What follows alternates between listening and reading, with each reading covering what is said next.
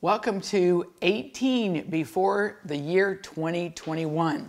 My scripture today is 1 John 4:18.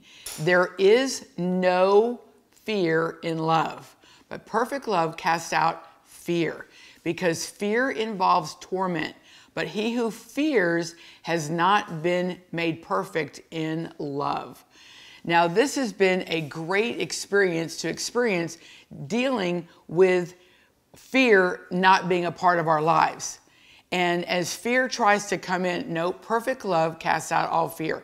I'm trusting in you for everything that you do, and that as we launch into 2021, we are leaving 2020 behind. We are launching into a fearless new year about everything that God has in store for you. And we're going to see God manifest Himself in our lives in a greater way. We're leaving all fear behind because perfect love gets rid of all fear.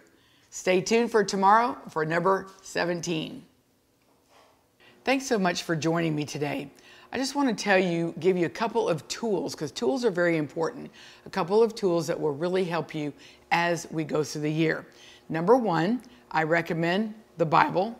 Get a good translation that you can read and understand.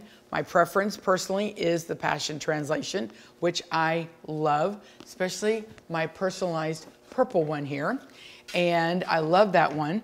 And but I have some other ones that are really good. Daily Declarations of Faith and it's 365 declarations of faith speaking over you many different areas of your life and speaking blessings over you. Another one, prayers and promises for financial breakthrough.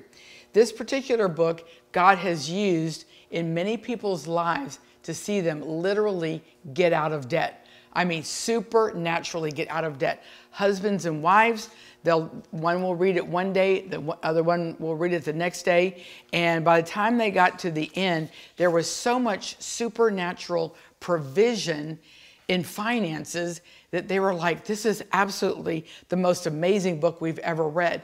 It's a step by step, more in the area of faith and building up your level of expectancy, which is really good. This one right here is prayers and promises for healing. If you need healing, I encourage you to spend time reading His Word, and it's just filled with promises of God wanting to heal you. And these are great ways to start off every day. Not only hearing from me, but also getting into whichever one you want to really get into. You can actually do all three, but primarily, don't forget the Word because the Word is what will sustain you. God bless you.